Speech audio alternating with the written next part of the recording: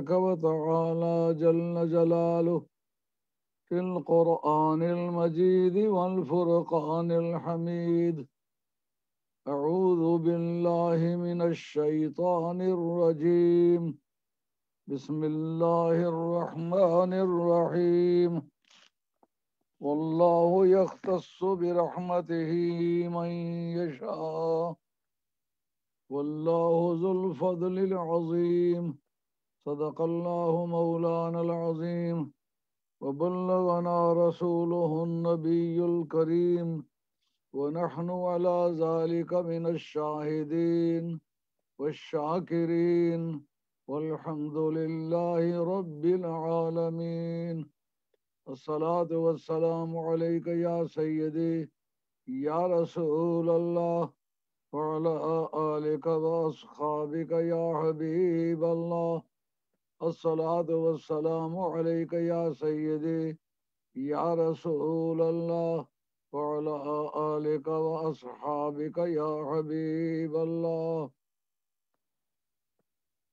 मोहतरम सामीन और नाजरीन आपकी खिदमत आलिया में हाजिर हूँ और कल की तरह आज भी हज़रत अबू बकर सिद्दीक रदी अल्लाह तु की अफजलियत मौजू सुखन है कि आपकी अफजलियत किस दर्जे हद तक साबित है?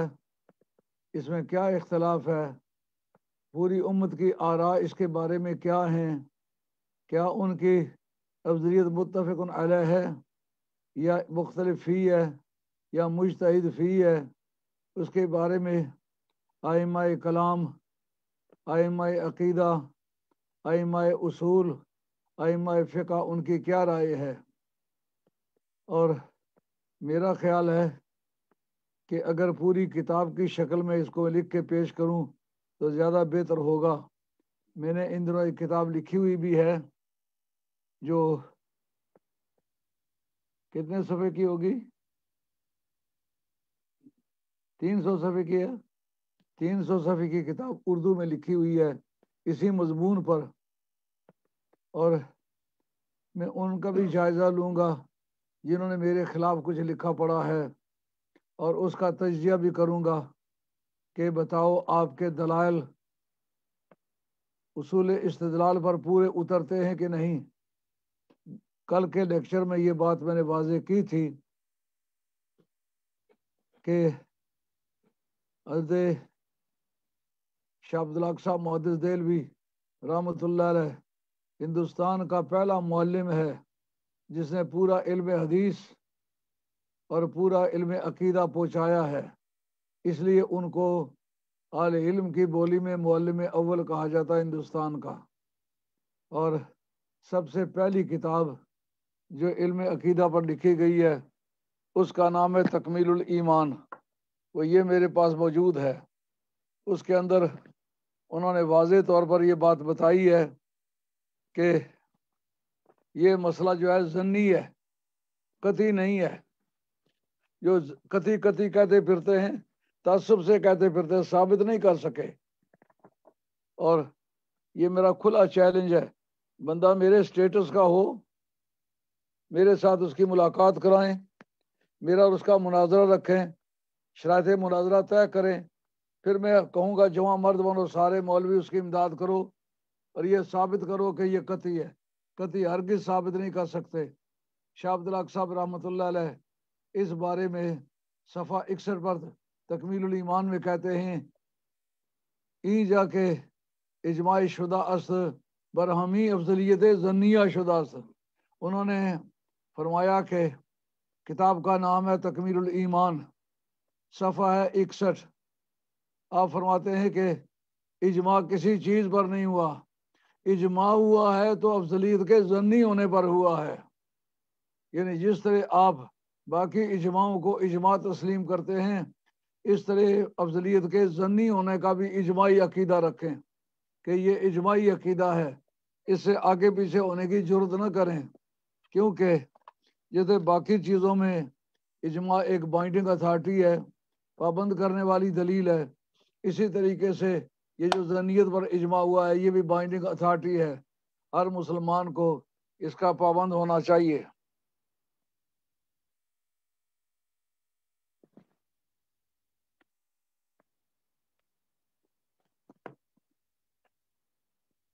ये तकमील ईमान है। सफ़ा इसका इकसठ है। ये ये इसके बाद भी जो लिखा हुआ ये सब मुताला करके तहकीकी नोट चढ़ाए हुए हैं। इसके अंदर भी ये सब जो नज़र आ रहा है, ये तहकीक करके तहकीकी नोट चढ़ाए हुए हैं। जो इसके आखिर में ये नज़र आ रहा है, ये सब तहकीक करके एक एक लफ्ज़ को छाना है और बाकी किताबों से मुताबकत दिलाई है। शाहब्दुल्ला साहब रहमत कमाल दर्जे का मायर साहिब फ़न जमी उलूम इस्लामिया के अंदर बड़ी महारत ताम रखने वाला बंदा है। इसीलिए उलमाए देवबंद ने उलमाए बरेली ने उलमाए शिया ने इन इनको कहा ये महक्क मुतलक है। यानी इसकी तहकीक पर किसी को को, कोई एतराज़ नहीं है। इन्होंने इस जगह ये बात साफ़ तौर पर लिखी है वह इजमाए के दरीजा दरीजात पर हमी अफजलियत जनियात इस जगह जो इजमा हुआ है ये अफजलियत जनिया पर हुआ है। क्यों जनिया है? का इसके मुखालिफ अगर दलाइल ना मिलते तो फिर ये अटल हो सकती थी। लेकिन सफ़ा सत्तावन पे इन्होंने साफ़ तौर पर लिखा है कि अलीमुद्दीन अराकी, जो साहब फतलबारी के भी उस्ताद हैं, अल्लामा बदरुद्दीन ऐनी के भी उस्ताद हैं, इमाम जलादुद्दीन सयूती के उस्तादों के भी उस्ताद हैं, नाम अलीमुद्दीन अराकी है। उन्होंने साफ़ तौर पर इस बारे में ये लिखा है कि अजमा आलम अला अन्ना फ़ातिमत व अखाहा इब्राहिम अफजलखलफ़ाइल अरबा के हज़रत सैदा खातून जन्नत और आपके भाई जनाब इब्राहिम, ये चारों खलीफों से अफजल है। अगर ये बात कती होती कि हज़रत सदीक अफजल है तो ये फिर आल इल्म इस पर किस तरह इजमा करते हैं। आल इल्म का इजमा होना ये आम लोगों के इजमा से मुख्तलिफ़ है। ये मेरे पास किताब का सवा सतावन है तकमील ईमान है। बिल्कुल बहने इसी तरह इन्होंने लिखा है। इमाम इब्राहिम मक्की ने, इमाम इब्राहिम मक्की ने जो बात लिखी है, कहते हैं, ये बात बड़ी अजीब लिखती है कि अल्लामा इबन अब्दुलबार ने कहा है कि सलब सालखीन में इख्तलाफ गुजरा है। सलब सालखीन में कोई इख्तलाफ नहीं गुजरा। आगे चल कर के खुद बतलाया है सफ़ा सत्तावन पर कि ये मसला जो है, जिन्होंने इजमा कहा है, उन्होंने भी अफसलियत को कती नहीं कहा। क्यों कती नहीं कहा? कहा कि इस बारे में अजमातुल उम्मत अला खैर खलाए के बाद रसूल इमा अबी बकर व इमा अली। इस पर यह कोटेशन है हज़रत इमाम फखरुद्दीन राज़ी का, जिनका सनफाद छः सौ छः है। यानी छठी सदी हिजरी के आगाज़ में उनका वफात उनकी वफात हुई है। तफसीर कबीर में चार जगहों में ये बात कही है। इस पर उम्मत का इजमा है। किस पर? इस इख्तलाफ पर कि या अबू बकर अफजल या अली अफजल है। किस तरह पी जाते हो? ये आपके लिए में नहीं आई बात? इमाम फखरुद्दीन राज़ी आपसे पहले के आदमी ना, ये इबन हजर मक्की जो है नौ सौ नौ सौ सतर नौ सौ अठहत्तर के आदमी हैं। इमाम जलादुल सयूती के दौर के बाद के आदमी हैं। तो आपको 606 में मरने वाले आदमी की इतलात नहीं है? उन्होंने साफ़ तौर पर लिखा इस पर इजमा है। ये नहीं ये पहला इजमा ऐसा है जो इख्तलाफ पर इजमा है। यानी ये इख्तलाफ इजमाही इख्तलाफ है। ऐसा नहीं है कि ये इजमा किसी शख्स का हो। शख्स का नहीं, बल्कि ग्रुपों का है। साहब कराम रिदवान ने, इन्होंने भी ये इबारत वाज तौर पर लिखी है। ये जो इबारत मैं कह रहा हूँ कि इन्होंने कही है, ये इन्होंने इसी अपनी किताब स्वाय के मोर का सवा सत्तावन पर कही है। ये मेरे पास मौजूद है। इसके अंदर कहा वमिम्मा युअय्यद अन्न हाउना जन्नियुन, अन्नल मुजमईना अन्नल मुजमईना, लम यक्तऊ बिल अफजलियत अल मज़कूरत बल इन्नमा जन्नु फ़कत कमावल मफहूम मिन इबारात आइमत व इशारात कहते हैं, मिम्मा युअय्यदो अन्नहु हाउना जन्नियुन।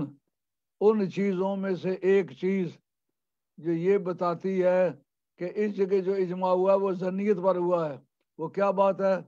अनल मुजमईन अनफुसम के इजमा का दावा करने वाले इन्होंने खुद।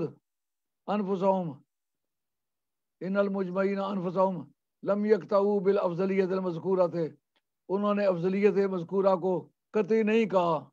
इन नमा जन्नू फ़कत उन सबने मिल के कहा, ये जन्नी है। अब किस मुँह से कहते हुए जमाई है? आपकी अपनी किताब में ये बात लिखी हुई है। इन नमा जन्नू फ़कत। लेकिन उन्होंने जो इजमा के दावेदार हैं, उन्होंने को जन्नी क्यों करार दिया है? कमा मफहूमो मिन इबारात आइमत व इशारात अहम जैसा कि आइमा मुतकलमिन जो सबका उनसे पहले गुजरे हैं, उनकी इबारतों से उनके इशारों से ये पता चला है। कमावल मफहूम इबारत व इशारात उनसे ये पता चला है कि इन जनिया ये अफजलियत जनी है।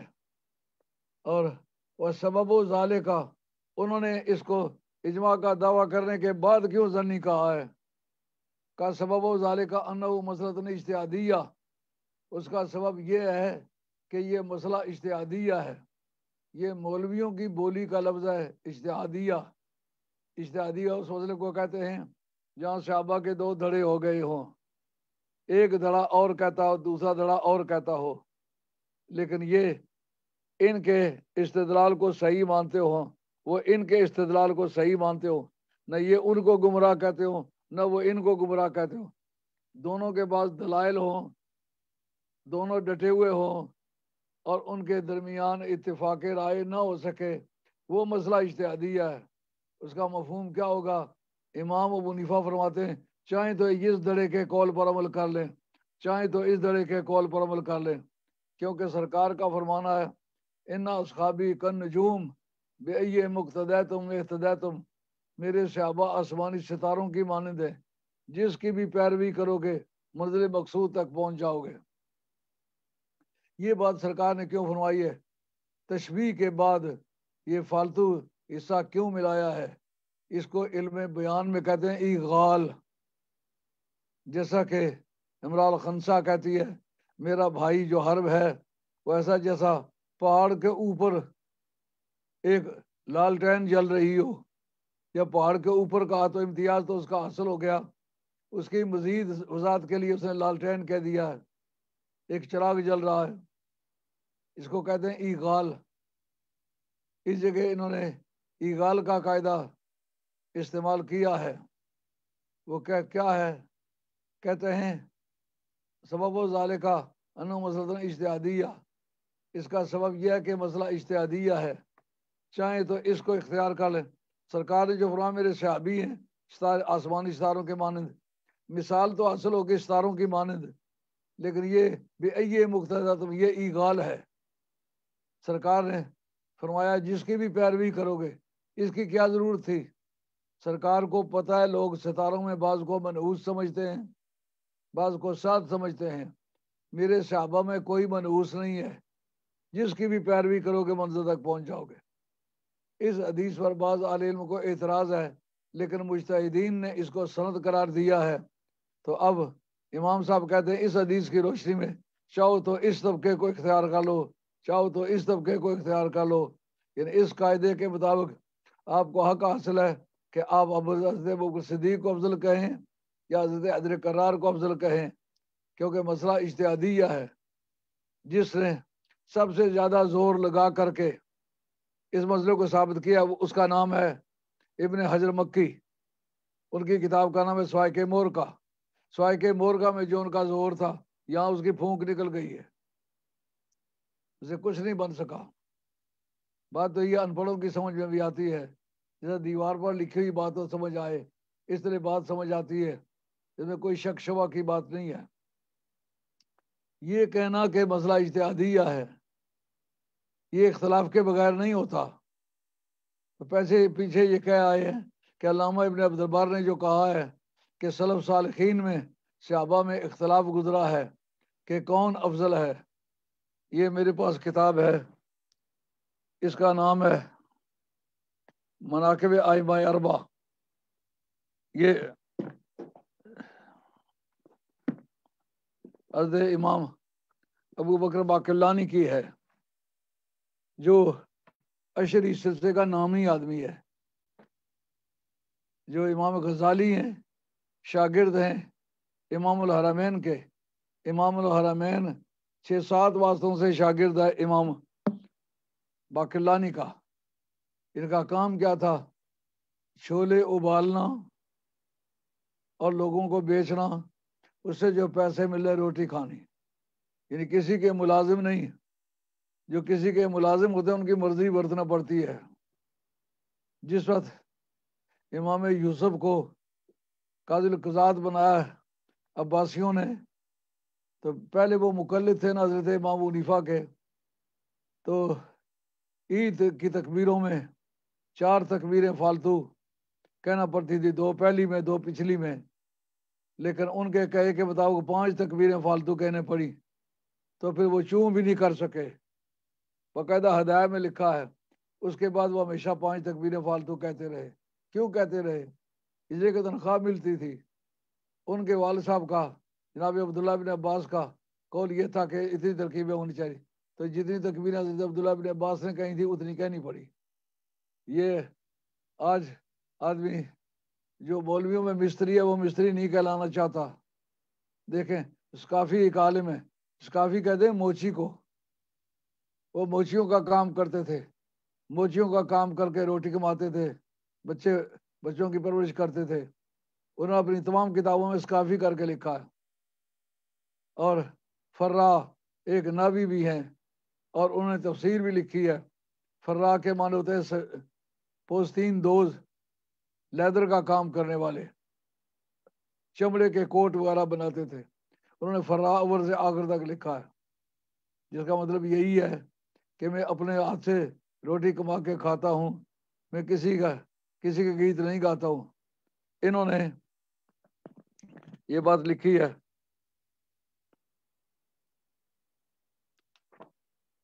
सफ़ा दो सौ चौरानवे पचानवे में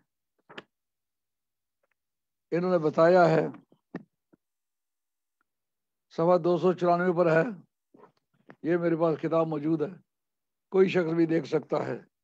इसके अंदर मौजूद है कि वलकौल तफसील अली रिजवान मशहूर इंदा कसीर में सहाबा कहते जनाब अली को अफजल कहना ये सहाबा में ज़्यादा मशहूर था और अजब सदीक रदी अल्लाह को अफजल कहना ये असहाब हदीस में, आल हदीस में ज़्यादा मशहूर था।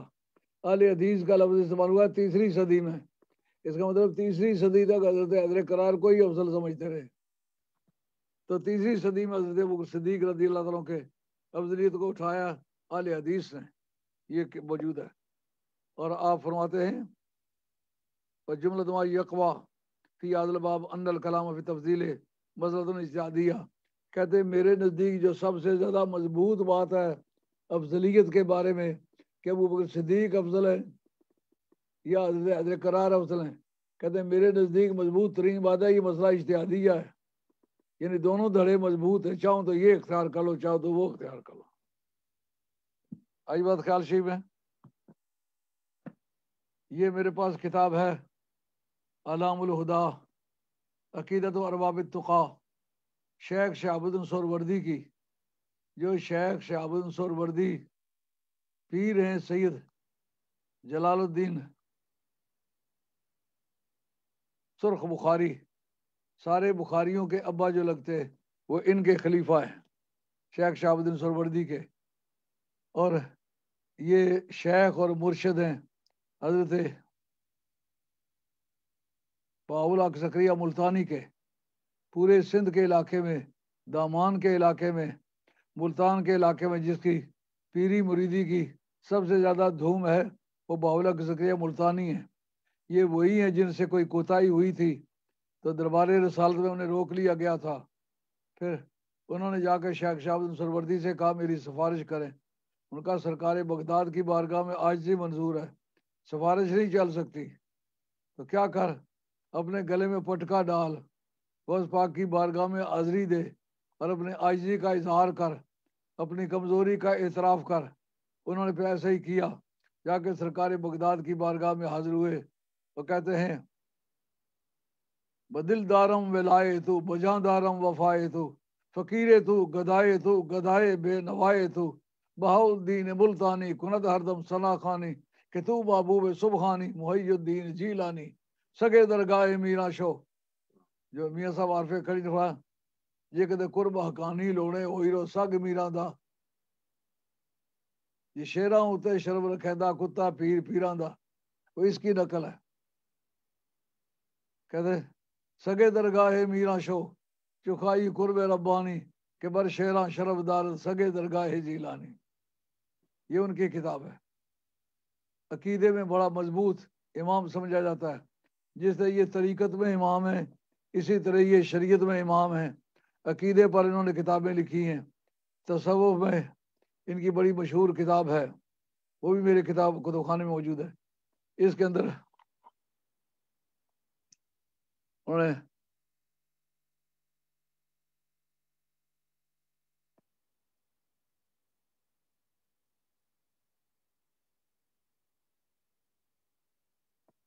ये कहते हैं कि आइमा अरबा को आपस में बराबर कहना चाहिए।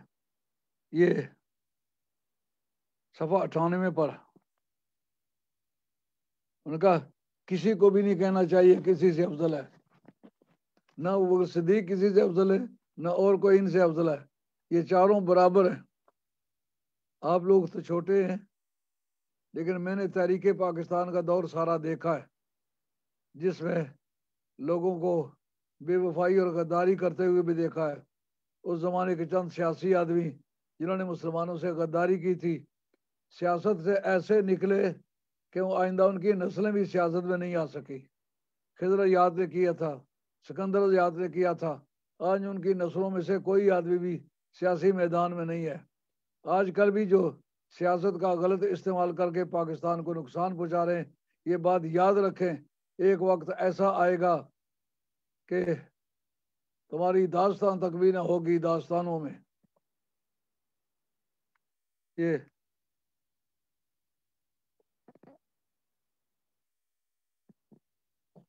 उसमें एक अखबार छपता था मुस्लिम लीग का वो सुन्नियों का अखबार था कि, कि दरअसल पाकिस्तान के नाम से आज़ादी मांगने वाले लोग सुन्नी थे। यही वजह है जो उनके खिलाफ थे। उन्होंने कहा हम पहले हिंदुस्तानी हैं पीछे मुसलमान हैं। जो पहले भी सुन्नी थे पहले भी मुसलमान थे पीछे भी मुसलमान थे वो सिर्फ़ सुन्नी थे। और उसमें ज़फ़र अली खान साहब वजीराबाद वाले ये भी अलीगढ़ के पड़े हुए थे। उनको मौलाना कहते थे। अलीगढ़ के पढ़े हुए मौलाना जो थे, ये तारीख में बड़ा दस्तरस रखते थे, सियासियात में बड़ी मालूम रखते थे। और हिसाब में बहुत बड़ी मालूम थी, लेकिन फ़नी उलूम में इनकी इतनी दस्तरस नहीं थी, क्योंकि फ़नी उलूम इतने मजबूती से नहीं पढ़ाए जाते थे। इसलिए इनकी क्यादत और रहनुमाई करते थे अल्लाह अब्दुलगफूर साहब हजारवी उसमें टाइटल पेज पर एक नज़म छपती थी। वो जिन्स नहीं, आराम जी से ले आए दुकानें फलसफा से, ढूंढे से मिलेगी आकल को, ये कुरआ के सिपारों में। किरने एक ही मशल की बू बकर, उमर, उस्मान, अली। हम मरतबा हैं यारान नबी, कुछ फ़र्क नहीं इन चारों में। यह अकीदा लिखा हुआ इसका नाम है आलामुल हुदा। ये कहते वक्त किसी ने ना उनको गुमराह कहा था, ना इनको गुमराह कहा है। अगर उनकी अफजलियत इजमाही होती इजमाय नसी ताम होती इजमाय नसी ताम का मुनकर काफिर होता है, जिसे किताबुल्ला का मुनकर काफिर है, हदीस मतवादर का मुनकर काफिर है, इजमा हो नसी हो, बोल के सारे मुजतदीन ने कहा हो, किसी ने इतराज ना किया हो, उसको कहते इजमाय नसी ताम। ताम के मैंने सभी ने कहा है। नसी मैंने बोल के बोल के सभी ने कहा, ठीक है। अगर हज़रत सदीक रदी अल्लाह की अफजलियत नसी ताम, इजमा से साबित होती, फिर ये कहना तो हराम होता। उनका, हम मरतबा है यारान नबी, कुछ फ़र्क नहीं इन चारों में। है किरने एक ही, मशल की वो बकर, उमर, उस्मान, अली। हम मरतबा है यारान नबी, कुछ फ़र्क नहीं इन चारों में। जिस वक्त मैंने आपके सामने ये इबारत पेश की कि अजमा आल आल इल्म अला अन्ना, फातिमा खा इब्राहिम अफजल अरबा। तो आप ये समझे कि ये ये सिर्फ़ हज़रत इमाम, हज़रत शाह साहब की इबारत है। ये सिर्फ़ मौलवी इबन हजर असकलानी की, इबन हजर मक्की की इबारत है। ये मेरे पास किताब है। इसका नाम है फैजुल कदीर। इसका जिल्द नंबर है चार, सवा नंबर है चार, पाँच सौ पचपन। अब्दरूफ मुनावी की लिखी हुई है। अब्दरू मुनावी टक्कर का आलम दीन है। इन्होंने जमल जवामे की शरा लिखी है। गालिबा सात जिल्दों में है। मेरे कुतुब खाने में पूरी मौजूद है। इसका सवा पाँच सौ पाँच है। उसमें बिल्कुल बहन ही इसी तरह लिखा है कि अजमात उम्मत वाला ना खैर खलाए के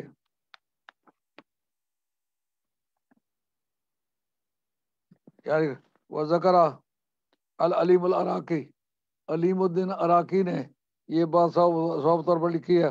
अन्ना फातिमा व खाहा कि सैदा फातिमा और उनके भाई साहब, हज़रत इब्राहिम, अफजल अरबा।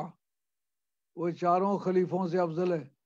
अब बताओ, हज़रत सदीक पर रदी अल्लाह की ज़ात पार पर उनकी अफजलियत पर इजमा उम्मत नसी हो गया होता तो ये कलमा हराम होता कि ना होता? किसी शख्स ने नहीं लिखा इन्होंने क्यों ऐसा लिखा। है ये बात तकमील ईमान के अंदर भी लिखी हुई है। ये बात इब्र हजर मक्की की शायक बोरका के अंदर भी लिखी हुई है। जिन्होंने सबसे ज़्यादा शोर मचाया है कि वो अफजल हैं, वो अफजल हैं। उन्होंने इस बात को माना है कि ये इबारतें मौजूद है। इनको किसी ने टोका भी नहीं, रोका भी नहीं। और ये बात भी उन्होंने बता दी कि इस पर इजमा आल इल्म का अब अंदाज़ा कीजिए। ये दोनों किताबें आपके सामने पेश हुई। अब इसके बाद की बात। इस पर गुफ्तगु करते हैं कि ये किसने कहा है? वो सबसे अफजल और ये बात कती है। सबसे पहले कहने वाला उसका नाम है अबुल हसन अशरी। अबुल हसन अशरी के शागिर्दों से पूछते हैं कि आपके क्या राय है? उन्होंने ये ठीक कहा या गलत कहा है?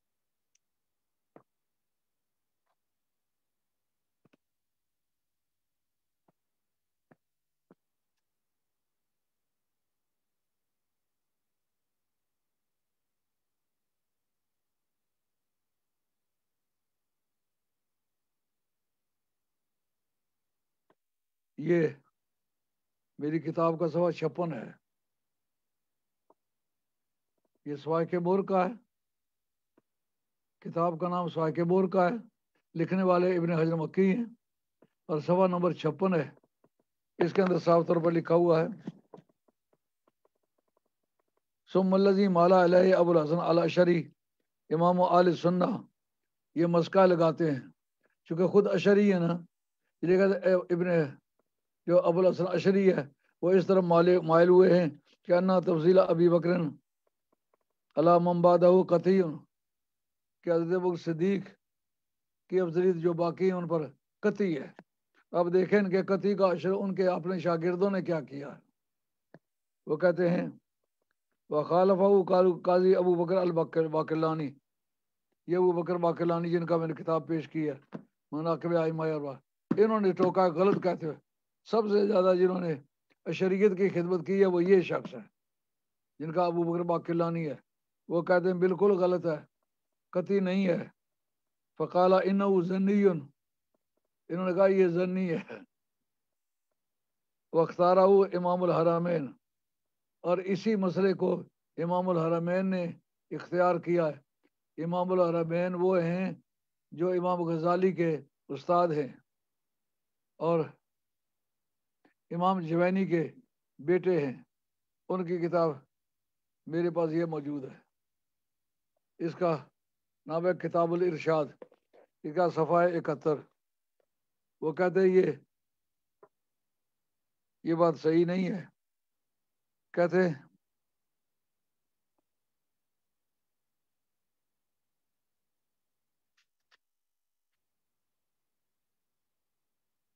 फ़ैन के हाल तवजलू नबाज साहबाज हम तजरबून तफसीर कहते हैं कि लोग हमसे पूछते हैं कि बताओ बाद सहाबा को बाद अफजल समझते हो कि नहीं समझते हो कुलना अलगरज बिन ज़ालिका ये बना अलामन इमाम मफजूल है वल्लजी सारा मौजम आल सुनत अन यताइन फ़ी नस्ब हरजन कहते हैं आल सुन्नत वाल जमात का रुझान ये है कि जो अपने ज़माने का अफजल आदमी हो, उसी को इमाम बनाना चाहिए, खलीफा बनाना चाहिए। लेकिन अगर अफजल को इमाम बनाने में कोई गड़बड़ का डर हो जंग दंगो फसाद का डर हो, खून रेजी और ईजान का डर हो तो फिर कोई शख्स भी जी जो इमामत के शरात पर पूरा उतरता है, बेशक वो मफजूल है। उसको इमाम बनाना दुरुस्त है। जो उधर जनाब अदर करार ने पेश किया ना, इमाम इबन मरतबा ने अपनी किताब मनाकब अमीर अलमोमिन के अंदर लिखा है। जो योम शूरा मनाया गया था ना अरे उस्मान गनी रदी लादरों के खलीफा बनाए जाने के वक्त, आपने फरमाया, मैं खिलाफत के लिए उन दोनों से ज़्यादा फिट था, उन दोनों से ज़्यादा अफजल था, लेकिन चूँकि मैंने बंदे बड़े मारे हुए थे उन्हीं की औलादें मुसलमान हुई थी। अब अगर जो वो मुसलमान हो गए, लेकिन उनके दिलों में मेरे इंतकाम का जज्बा बाकी था। मैं समझता था कि अगर मैं खलीफा बन जाऊँ तो ये बगावत करेंगे। इस डर से मैंने उनसे बैत कर ली, वगैरह वो मुझसे सीनियर नहीं थे। समझ आ गई बात? कहते, मफजूल को इमाम बनाया गया। जब मौला मरजा खुद कहते हैं, मैं उनसे अफजल था, क्योंकि कुरान ने जो मैार मुकर किया है, खिलाफत का, वो ज़्यादा हो बस्तन फिल इल्म वाले जिस्म। कि जिसको खलीफा बनाया गया था, जनाब शमूल पैम्बर थे, तालूत उनकी उम्मत का एक बंदा था, उसको खलीफा बनाया गया था, ये कुरान की शहादत है। कौन कहता है कि एक आम आदमी नबी से अफजल था? मफजूल को इमाम बनाया गया, और नबी लीगल एडवाइज़र था। जनाब शमूल उनको नसीहत करते थे ऐसे करो ऐसे करो। लेकिन legislation power executive power judiciary सारी उनके पास थी। जिनके पास एग्जीक्यूटिव जुडिशरी लेजिस्लेशन जिसके पास वो खलीफा तो वो होता है। तो वो मफजूल थे। मगर अद शमूल शाम के अंदर जोद और तकवा की मजबूरियाँ थीं, वो लड़ना नहीं चाहते थे। इसलिए मफजूल को उनकी जगह इमाम बनाया गया। ये तो कुरान से साबित है। जब उन्होंने पूछा कि इनको खलीफा क्यों बनाया? खिलाफत का हकदार नहीं है, क्योंकि हज़रत याकूब अलैहिस्सलाम की औलाद में से, ये उस साहबजादे की औलाद में से थे, जिनमें कोई ना पैम्बर गुजरा था, ना कोई रसूल गुजरा था, न कोई बादशाह गुजरा था। इसलिए बन इसराइल उनको अपने मुकाबले में कमज़ोर बंदा समझते थे। हज़रत शबूल ने कहा, ज़्यादा हूँ बस्तन फिर इल्म वाले जिसम। अल्लाह ताला उसका जिसम भी मज़बूत बनाया, इल्म भी मज़बूत बनाया। जो कौम के काम आने वाली चीज़ें हैं, क्यादत में, वो किसी का जिसम सेहतमंद होना है। ऐसा ना कि लड़ते वक्त कहे, मैं बीमार मेरी तबीयत अच्छी नहीं है। मुकाबले का वक्त आए कि मेरी टांगें दुखती हैं। या, मैं मुकाबले में नहीं जा सकता। फजब अंतबरबो का फ़कात ना ना कायदून। तुम जाओ, तुम्हारा खुदा जाए, जाके लड़ो, हम तमाशा देखेंगे। वो कहेगा, सारे हट जाओ पीछे मैं अकेले मुकाबला करूँगा। वक्त आया था कि जिस वक्त बाकियों ने इनकार किया था, हम नहीं लड़ सकते। उनका मैं तो लड़ूँगा। तो उस तीन सौ तेरह आदमी थे जो, जिन्होंने साथ दिया था, जनाब तालूत का। तो इमाम हरमैन कहते हैं, जिस वक्त वो मुस्तफ़ी बिशरूत हो, शर्तें पूरी करता हो, लेकिन मफजूल हो, उससे अफजल बंदा मौजूद हो लेकिन अफजल को अगर मुकर करें तो उसकी वजह से दंगा फसाद का डर है। चालीस हज़ार सूरमा मौला मुर्ता की तलवार से मारा गया था। खुद बदर का मैदान लो, जिसने ये फैसला कर दिया। उनतालीस आदमी अकेले हज़रत मौला मुर्ता की तलवार से मारे गए थे। ग्यारह आदमियों के मारने में शरीक हुए। सिर्फ़ बीस आदमी सारे सहाबा ने मिल के मारे। वो जब जनाब अदरकार ने भगा दिया सबको वो आगे आगे भागे जा रहे थे, इन्होंने मारना शुरू कर दिया। उससे पहले नहीं मारे गए। तो हज़रत मौला मुजानी जो के बंदे बड़े मारे हुए थे आप रहा मैं इसलिए चुप रहा कि ये जो बड़ी मेहनत से स्टेट बनाई है, ये टूट ना जाए। इस डर से मैंने उनसे बैत कर ली थी। तो इमाम हरमैन कहते हैं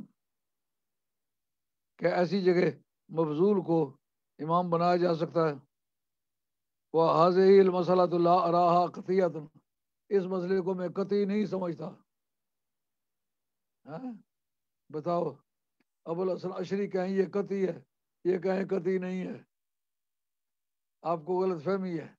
मज़ा आ गया कि ना गया? हज़रत अबू बकर बाकलानी जैसा आदमी कहे कि ये ये जन्नी है और ख़ुद उस किताब के मतन के अंदर मौजूद है। उन्होंने कहा, ये जन्नी है। ये दो शातें उनके खिलाफ गुजरे फस्तशिद शहीद है ने मेरे रिजाले को तो पांडा तो फूट गया। और इसी तरह मुस्लिम की शरा लिखे है। काजी ने जो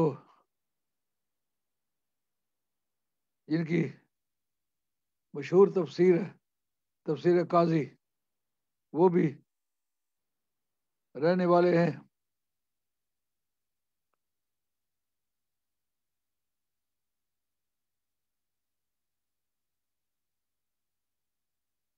उनकी अदीस का नाम, शरा का नाम है मुफिम। उन्होंने भी कहा, सरासर गलत कहा है। जनी है कति नहीं है। ये भी ये शरी है। अब बताओ, उन्होंने किस बुनियाद पर उसको कथी कहा?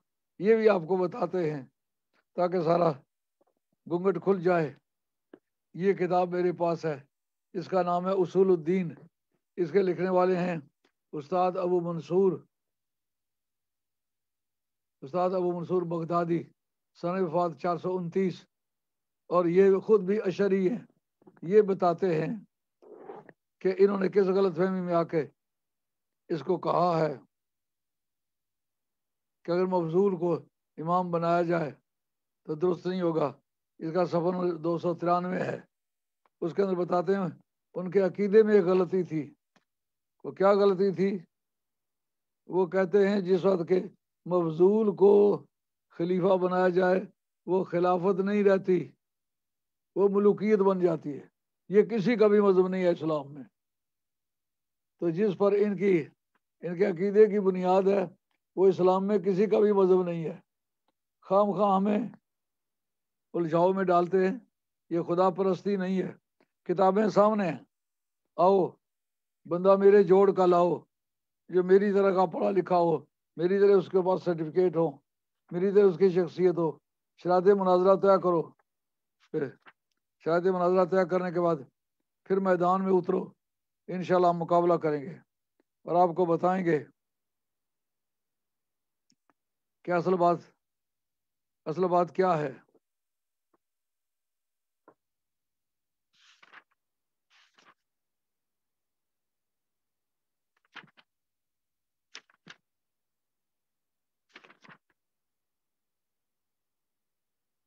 कहते हैं, इख्तलाफू फ़ी जवाज़ इमामतमफजूल बाद यकून लहा।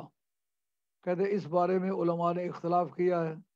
कि अगर एक इमाम हो, इमामत के फ़रज़ अदा करने की अहलियत रखता हो, जैसे किताबुल्ला में सुनत रसुल्ला में और अकायद सैया में पूरी तरह जज्म रखता हो और निज़ाम हुकूमत चला सकता हो और लम यकुन लो अफजल मौजूद और उससे अफजल मौजूद न हो। फ़काल अबुल हसन अशरी ये जब यकून इमाम अफजल आल ज़माने।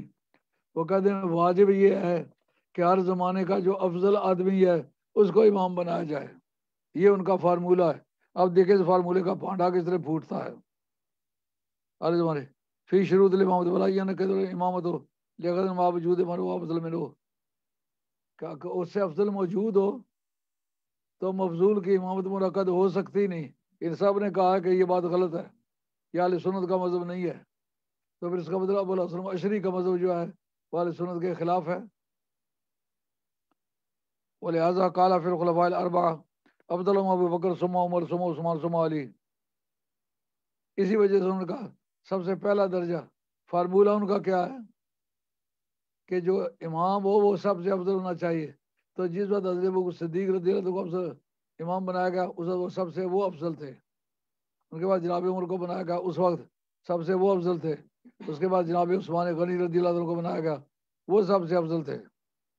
अब सुमा उस्मान, जो हज़रत उस्मान को बनाया गया, वो सबसे अफजल थे। वख्तारा शेखुना अबुल कलान सी जवाज़ अकदल इमाम मफजूल। कहते हमारे मज़हब के मशहूर आदमी, जो टक्कर के आदमी समझे जाते हैं, अबुल हसन अशरी के, वो उनका नाम है अबुल अब्बास कलानसी अशरी है। जिसको अपना इमाम उन्होंने माना है उनका वख्तार शाकुना। उन्होंने क्या इख्तियार किया? का जवाज़ अकदल इमाम मफजूल मफजूल के लिए इमामत का मुनद होना उन्होंने इख्तियार किया, उन्होंने माना है। इज़ा काना कानफी शरूत इमामत बावजूद लफ्ज़ अफजल के होते हुए अगर उसके अंदर शायद इमामत मौजूद है उसको इमाम बनाया जा सकता है। तो फिर ये सिर्फ़ अबुल हसन जी का अपना ही मज़हब है ना? ये कौम का मज़हब तो नहीं है ना? तो भाई काला हुसैन बिन फजल, हुसैन बिन फजल ने भी यही बात कही है। ये भी उस मज़हब का नामी ग्रामी इमाम है। तो मोहम्मद बिन साग बिन खुजैमा और मोहम्मद बिन साग बिन खुजैमा ने भी यही बात कही है। वह अक्सर असकाबी शाफी रदी अल्लाह तु और यही बात इमाम शाफी रहमत के जो मुकलदीन है, उनकी अक्सरियत की राय यह है। लेकिन ये कि अगर मफजूल को इमाम बनाया जाए तो हुकूमत बन जाती है।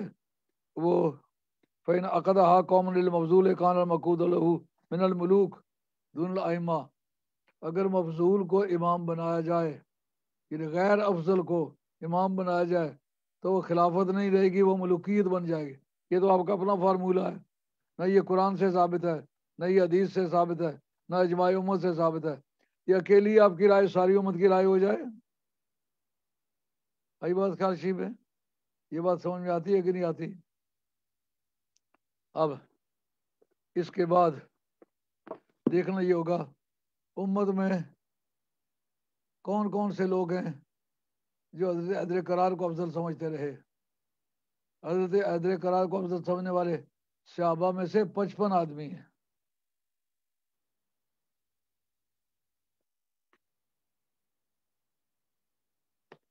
ये स्वाय के मोर का मुकदमा है। इसके अंदर बताया है।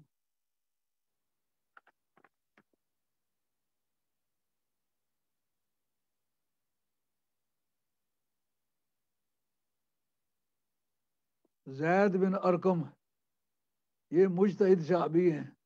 जिनको सरकार ने अपनी ज़िंदगी में गवर्नर बना के भेजा है। गवर्नर बना के कहीं भेजना या काजिल कुजात, ये शहादत है इस बात की कि अगर वो मुश्तद ना होता तो उसको कभी ना भेजते। जैद बिन अरकम जनाब अदर करार को बबांगे दोहुल अफजल समझते। दूसरा, वल मकदाद बिन असवद। तमाम असमा रिजाल ने लिखा है कि छठे मुसलमान हज़रत मकदाद बिन असवद है। इमाम सयूती ने छठा मुसलमान साबित करने की कोशिश किया जनाब अबू सदीक को।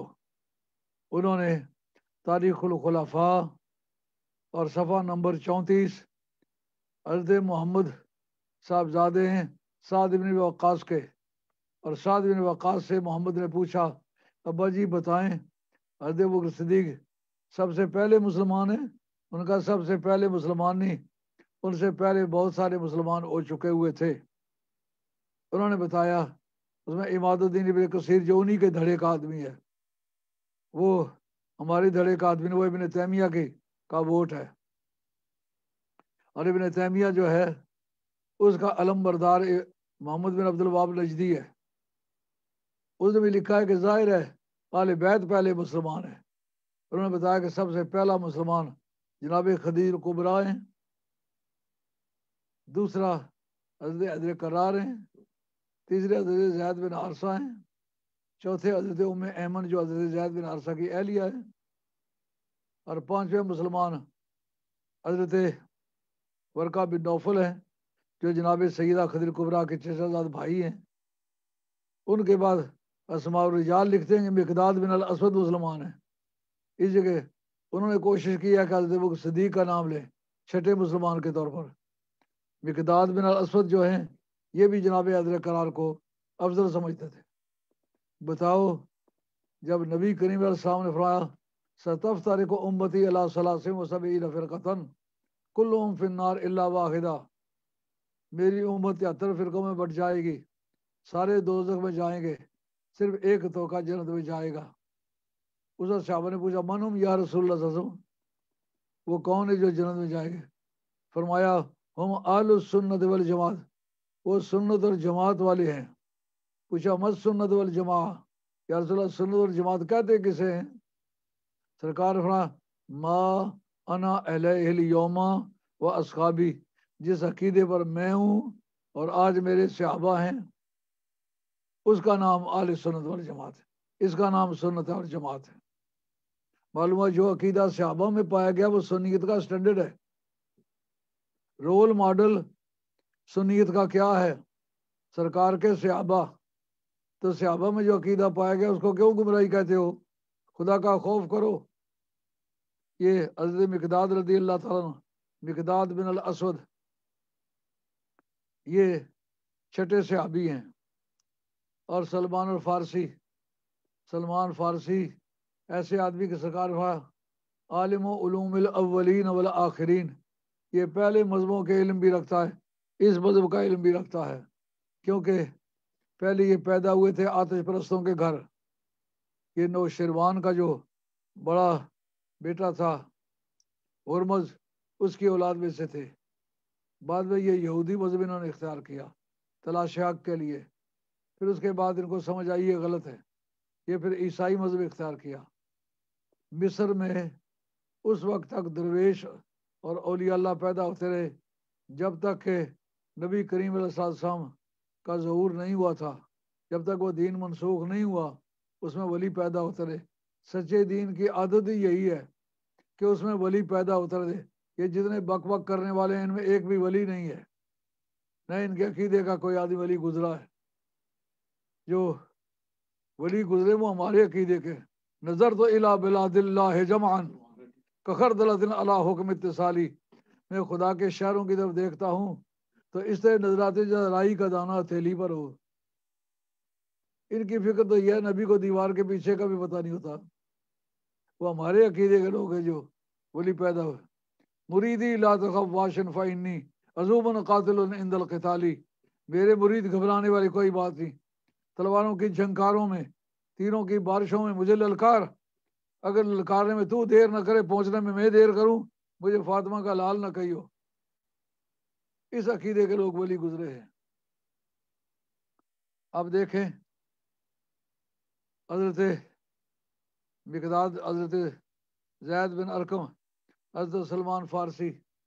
सलमान फारसी को सरकार मिस्र में उन्हें ईसाई उस्ताद ने बताया कि नबी आखिर ज़मान के जहूर का वक्त है। असल हदायत तुम्हें वहाँ से मिलेगी। अब छोड़ो बाकी सारे मजाहब को।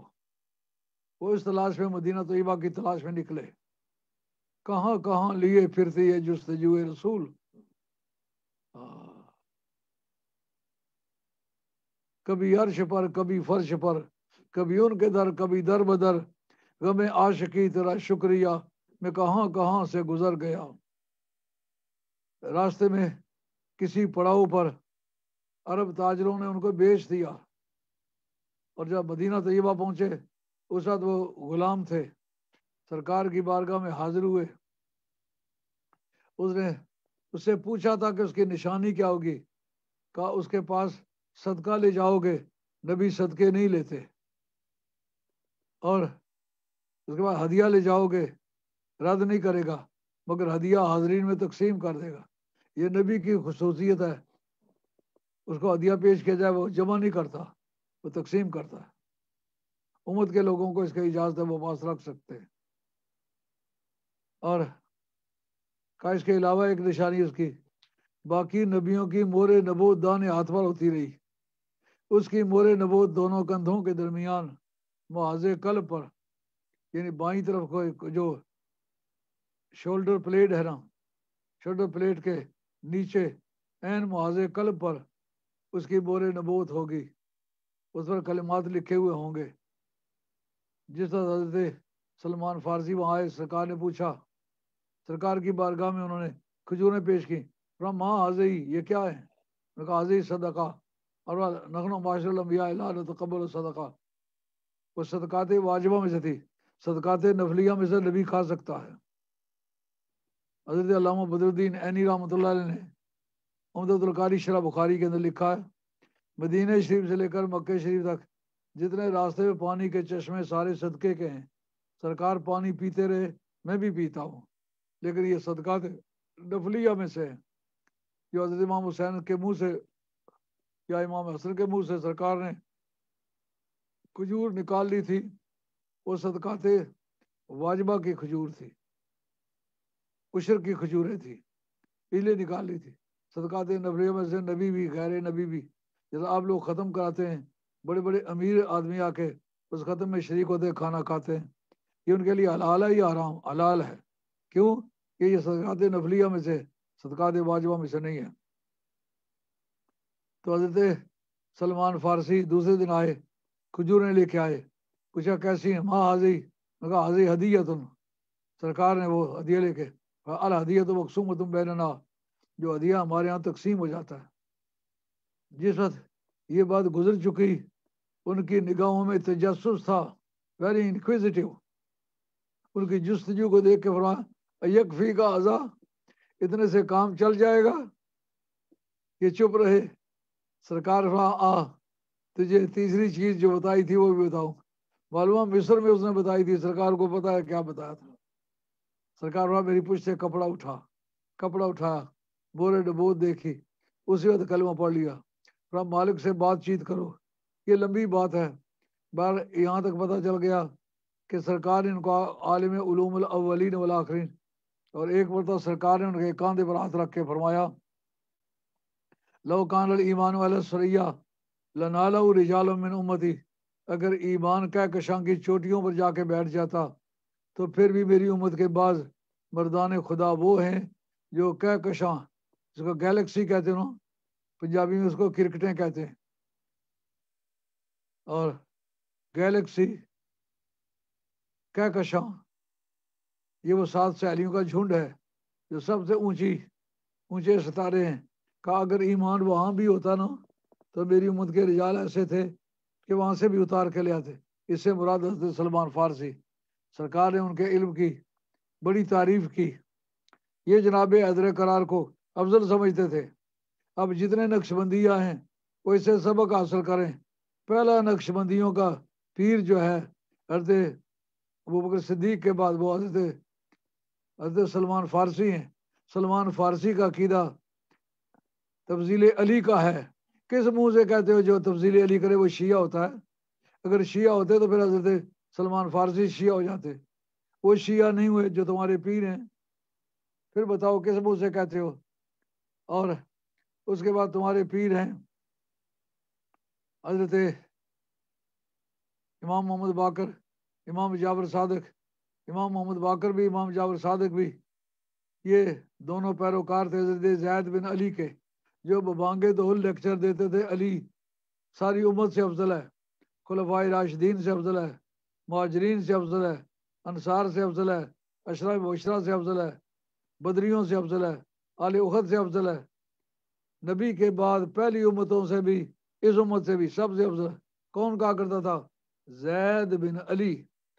अब आप उनको भी कह दें, शिया अभी किताब आपके मुँह पे मारते हैं, जो बताएगी कि वो आल सुनत का ताबेन में, आल सुनत का इमाम है, अभी बताते इसका मतलब उस दौर में अली को अफजल समझने वाले को गुमराह नहीं कहते थे।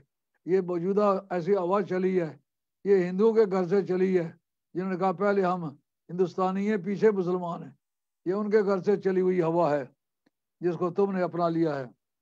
जनाब सलमान फारसी भी उनमें से हैं, जो जनाब हैदर करार को अफजल समझते थे। हज़रत अबू ज़र गफारी रदी अल्लाह तला वो भी हज़रत हैदर करार को अफजल समझते थे।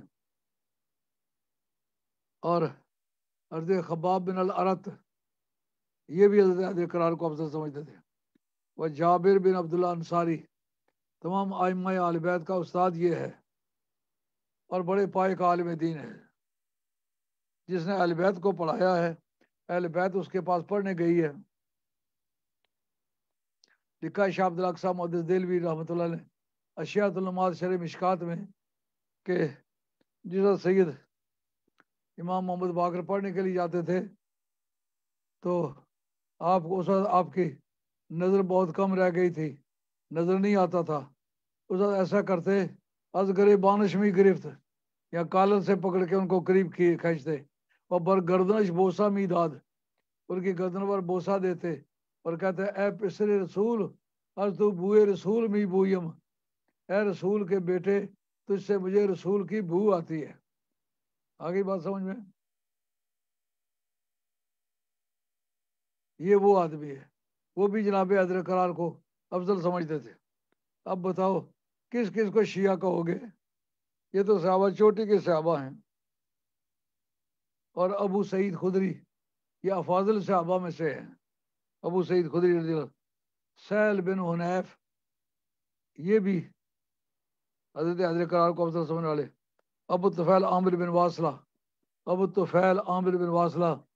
ये भी जनाब हजर करार को अफजल समझते थे। ये सबसे आखिरी सहाबी है जो दुनिया से गया है। एक सौ चार या छः में इनका विशाल हुआ है। इनका नाम है अबू तफ़ैल आमिर बिन वासला। ये भी जनाब हजर करार को अफजल समझते। ये कहते हैं, मैं उस लेक्चर में मौजूद था। जिस वक्त जनाब हजर करार ये कह रहे थे, मैं उन सबसे अफजल था, लेकिन इस डर से मैंने खिलाफत इख्तियार नहीं की कि मेरे बंदे बड़े मारे हुए हैं। अब अगर मैं खलीफा बन जाऊँ तो वो सारे बगावत करेंगे। और हज़रत अब्बास हजूर के चचा हैं। हज़रत इमाम अबू ने ये जो मैं यार मुकर किया इजमा का ये मेरे पास है, शमसल आयमा सरकसी की, जिन्होंने एक जुमले पर बीस साल अंधे कुएँ की कैद काटी, मगर झुके नहीं।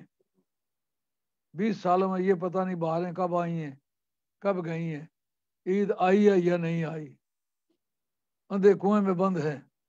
उन्होंने उस वक्त इजाज़त ले ली, कहा कि मैं अपने शागिर्दों को पढ़ाता हूँ, मैं कुएँ की तह से बोलूँगा, मेरे शागिर्दों को कुएँ के धाने पर बैठने की इजाज़त दें। जो मैं कहता जाऊँ, वो लिखते जाएँ। इनका सनफात चार सौ नब्बे है। बड़े पुराने लोगों में से है। ये बताते हैं, इमाम मुनीफा के नज़दीक इजमा का मैार क्या है? इजमा को मज़ाक बना रखा है आपने? खुदा का खौफ करो। हजूर किरदगार तुम भी पेश हो गए मैं भी पेश हो गए इसका सफ़ा नंबर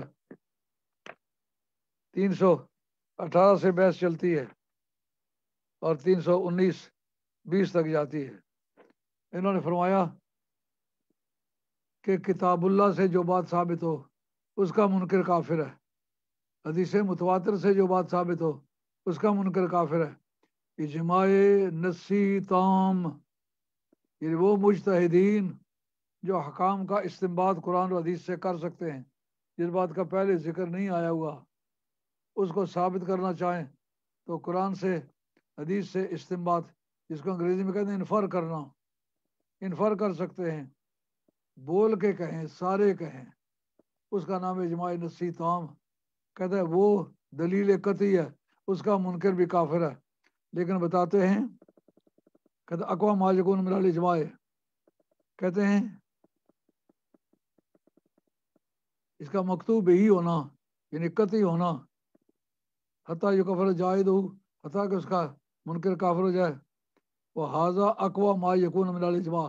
इजमाओं में सबसे ज़्यादा मज़बूत इजमा यही है, जिसका मुनकर काफिर होता है। फ़िर सहाबत आलमदीन थे व इतरत रसूल जो मैंने कहा, तमाम आले मदीना साहब कराम जिससे मुराद मदीने के रहने वाले जितने सहाबा हैं, वो भी मुतफिक हों। एक, हज़रत अब्दुल्ला बिन अब्बास कहाँ के रहने वाले थे? मदीने शरीफ के रहने वाले थे। वो जनाब हजर करार बांगे दोल कहते हैं। उनके लेक्चर मौजूद हैं। तबरानी के अंदर पूरे लेक्चर मेरे पास तबरानी मौजूद है। और उनके लेक्चर मसूदी ने ज़िक्र किए हैं। सब के अंदर मौजूद है। जनाब हजर करार उन सबसे अफजल है, जो नबियों के बाद घोड़े पर सवार हुआ है। जिन्हें जूता पहना है, जिन्हें कश्ती पर सवारी की है, जिन्हें जूता गांठा सरकार का जूता, हज़रत मौला बुरजा ने गांठा उन सबसे अफजल है, जिसने फातिहा शरीफ पढ़ी है। उन सबसे अफजल है जिन्होंने कुरान पढ़ा है। उन सबसे अफजल है जिन्होंने कुर्ता पहना है। उन सबसे अफजल है जिन्होंने इजार पहनी ऐसा खोल खोल के और ये बात खुतबे दिए भी कहा जनाब मीर माविया के कोर्ट में खड़े होकर वो आले मदीना नहीं है। अब्दुल्ला मसूद ही वहाँ के रहने वाले हैं। क्योंकि ये सरकार की मजलस शूरा के मेंबर थे। मजलस शूरा के लोग जो थे वो मदीन शरीफ रहते थे। कहते हैं इतरत रसूल, सरकार का जो ख़ानदान है, वो भी शामिल ना हो तो इजमा मनकद नहीं हो सकता। हज़रत अब्बास मरते दम तक इसको इमाम बगदादी ने जो तारीख बगदाद लिखी है, उसके अंदर, ये सिर्फ़ तारीख की किताब नहीं है, ये इल्म हदीस की किताब है। और आपके अलकफ़ाया फ़िल्म रवाया, पहला वो शख्स जिसने के हदीस के असूल को कंपाइल किया है। वो खतीब बगदादी है। खतीब बगदादी किया तारीख बगदाद। उन्होंने लिखा कि आखिरी दम तक हज़रत अब्बास जो हैं, हज़रत अदर करार को अफसर समझते रहे। जब वो शरीक नहीं हुए तो इजमा क्यों होता फिर हम पूछने की पोजीशन में हैं। अर्द इमाम हसन उसमें शरीक नहीं हुए। मुजतहिद हैं। अर्द इमाम जैन आबिदीन जो साहबजादे जनाब इमाम हुसैन के। बरमला तौर पर वो दावेदार हैं कि अली सबसे अफजल है। वो उस इजमा में शरीक नहीं हुए। इजमा कैसे हो गया? ये खाला जी का घर समझा हुआ है? ये खाला जी का घर नहीं है। ये किताबी तौर पर आपको तहकीक पेश करनी पड़ेगी। बाप के दो एक ये इजमा है। इजमा इस पर नहीं हुआ। तो ये इमाम शमसलामा सरखी की किताब है। उसूल सरखसी जिल्द अव्वल, सफ़ा तीन सौ अठारह से ये बहस शुरू होती है। आगे चल करके एक मसला पेश किया। कहते हैं कि एक मसला था कि जो उमुल वलद है उमुल वलद उस कनीज को कहते थे जो किसी की खरीदी हुई लौंडी होती थी तो जिससे बीवी से जोड़े की ज़िंदगी गुजारनी दुरुस्त है इसी तरह कनीज से भी जोड़े का ताल्लुक दुरुस्त होता है। बीवी के साथ तो सिर्फ़ उसके जो जिनसी अज़ा हैं, उनका मालिक होता है। उसके सिवा अगर बीवी की उंगली तोड़ दे तो बाकायदा उससे किसास लिया जाएगा। या जैसा भी फैसला होगा, लेकिन माफ़ नहीं होगा। कनीज की पूरी बॉडी का वो मालिक होता है। उमुल वलद उसको कहते हैं, जो अपने मालिक का बच्चा जने। उसके मतलब ये है कि जब मालिक मर जाए ना वो वारसों को विरसे में जायदाद के तौर पर तकसीम होती है, ना वो बेची जाती है। इस पर दो मज़हब थे। इस पर एक मज़हब ये था कि उसको बेचा भी ना जाए और विरासत में दिया भी ना जाए। इस पर हज़रत हजर करार ने कहा, उसको बेचा भी जा सकता है, उसको विरसे में भी दिया जा सकता है। इस पर बहस चल निकली। तो इमाम मोहम्मद बिन हसन शहबानी, जो इमाम मुनीफा के दूसरे शागिर्द हैं, इमाम यूसुफ से निचले दर्जे के। उन्होंने अपने वक्त में एक काजी ने फैसला किया कि ये औरत जो बेची गई है, ये उमल वलद है, इसकी ब्याह नाजायज़ है, क्योंकि हज़रत उमर इसको नाजायज़ करार दिया था। और इमाम मुनीफा कहते हैं, ये ब्याह वैलिड है, इसलिए कि हज़रत हज़रत करार ने उनके इस फैसले को तस्लीम नहीं किया, इसलिए इजमा मुनाकद नहीं हुआ। और आगे चल कर के कहते हैं, अगर इस पर मुसर हो तो ये मसला मुजतद फ़ी है। यानी चाहे तो उसको इख्तियार करे, चाहे तो इसको इख्तियार करे। ये दोनों बातें, ये दोनों बातें शमसल सरक्सी की। अब हम इमाम मोहम्मद के मुकलद नहीं है, इमाम यूसुफ के मुकलद है, इमाम अबू निफा के मुकलद है। इमाम अबू निफा का मज़हब यह है, वो कहते हैं जो उनका इख्तलाफ है, वो उनकी ज़िंदगी की वजह से नहीं है, वो उनके दलाल की वजह से है। अगर वो दुनिया से चले गए तो दलाल उनके मौजूद हैं, अगर वो मौजूद होते तो ये इजमा कभी ना हो सकता। तो मालूम हुआ, ये एक तरफा इजमा है, इसकी हैसियत कुछ नहीं बनती, इसलिए इसको हम लगभ समझते हैं। इजमा वही है कि जो उन्होंने अपने तौर पर किया, इन्होंने अपने तौर पर किया है। मसला मुश्तद फ़ी बन गया है। चाहो तो इस पर अमल करो, चाहो तो इस पर अमल करो। ये शमसलमा सरखसी की। अब वो जो हज़रत जैद बिन जैद बिन अली, जनाब इमाम जैन का नाम अली अली बिन अल हुसैन है। उन्हीं को इमाम जैन आबदीन भी कहते हैं। उनके साहबजादे हज़रत जैद ये मेरे पास किताब है। इसका नाम है किताबुल मिलल व निहल। इसका जल्द नंबर है एक। इसका सफ़ा नंबर है एक सौ पचपन। मुँह से बातें कर देना तो आसान है, लेकिन देखें, हमने एक एक लफ्ज पर कुटिया डाली है, नंबर चढ़ाए हैं, छाना है। इधर भी इधर दोनों तरफ़ उसके जात लगे हुए हैं। अब सफ़ा नंबर एक सौ पचपन है।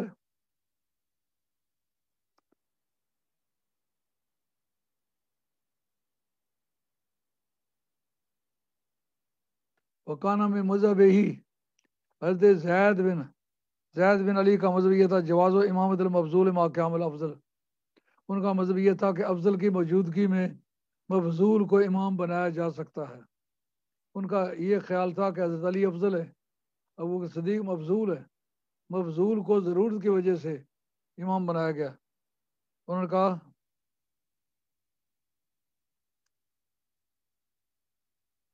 वकाला काला अली अबी तालिब अफजल सहाबा वो कहते हैं, जनाब हैदर करार, तमाम सहाबा से अफजल है, पूरी उम्मत से अफजल है। ये उम्मत सारी उम्मतों से अफजल है। और इस उम्मत से सहाब कराम अफजल है। सारे सहाब कराम में से अली अफजल है। ये जैद बिन जैद बिन अली का मज़हब है।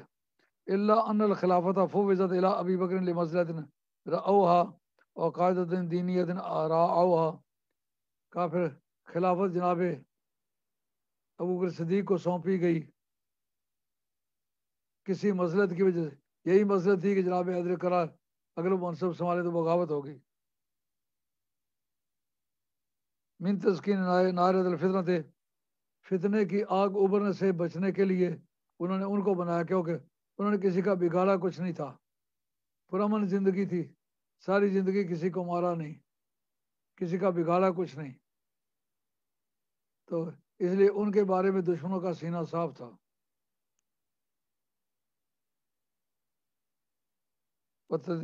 व तदशीब कलूबल आमत फिन आयदल हरूब अल्लाह जरत फ़ी अयाम नबोत कान करीबन, क्योंकि कान आदल हरूब वो दौर जो लड़ाइयों का था, वो नबूत के दौर से करीब था। उन्हें पता था अभी उन्हीं के पोते, बेटे, भांजे मुसलमान हुए हैं। लेकिन मुझे जानते मैं उनके चचे का कातल हूँ, बाप का कातल हूँ, दादे दादे का कातल हूँ। कहते इस वजह से उनके सीनों में बुगजो अनाथ बाकी है। फमा कानतलूब तमील कुल्ल महल उनके दिल, उनकी तरफ़ पूरी तरह मायल नहीं थे। जिस ये बात साबित हुई। अब देखते हैं कि इमाम अबू निफा का मज़हब उनके बारे में क्या था। लम्मा कुतला जैद बिन अली वसल वकाम बिल इमामत बाद यखया बिन जैद। जिस वक्त आपको शहीद कर दिया गया। आपके साहबजादे यखिया बिन जैद, वो उनको इमाम बनाया गया। व मज़ा इला खुरासान वजतमात अलिया जमात कसीरत उन पर वो खुरासान की तरफ़ गए, उन पर बाकी काफ़ी सारे लोग इकट्ठे गए। वक़द वसला खबर बिन सादिक, जाफिर बिन मोहम्मद बिन युक्तलो कमा कतला बाबू और उनकी तरफ़ ये इमाम जाफ़र सादिक की तरफ़ से ये खबर पहुँची। जाफ़र बिन मोहम्मद बाकर की तरफ़ से कि उनको कत्ल कर, उनके बाप को कत्ल कर दिया गया, सूरी पर चढ़ा दिया गया है। और वसला बाबू फजरा अमर कमा इसलिए उनको खलीफा बनाया गया। है और इस मकाम पर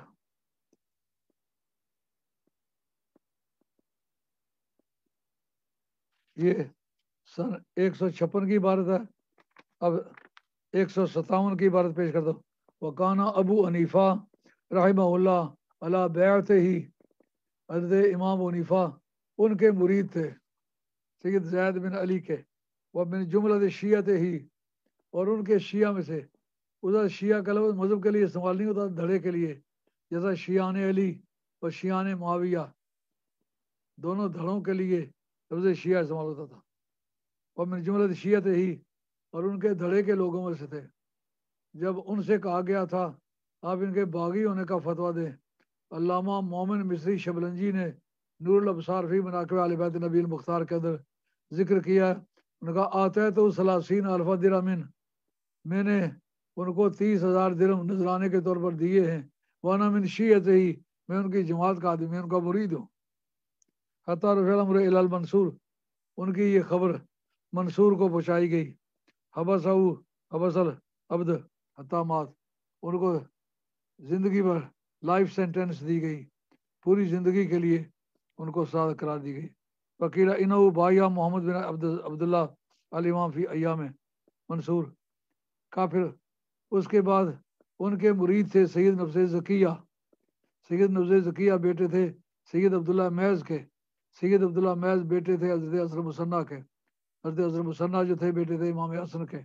असनी सादात में से थे सैद नफ्स ज़किया, मगर मुरीद थे हज़रत जैद बिन जैद बिन अली के। उनको अपना इमाम मारा था, क्योंकि जब उन्होंने जहाद का ऐलान किया, ये उनके साथी थे। ये फिर इमाम मुनीफा इमाम जैद के शहादत के बाद उनसे बैत की। अब हम देखना चाहेंगे कि जो अजद अली को अफसर समझते थे, उनका मज़हब ठीक था कि गलत था? ये मेरे पास किताब है, अबू मंसूर अब्दुल कायर बिन तायर तमीमी बगदादी, मुतवफ़ा चार सौ उनतीस। इनकी किताब का सफ़ा नंबर तीन सौ सात है।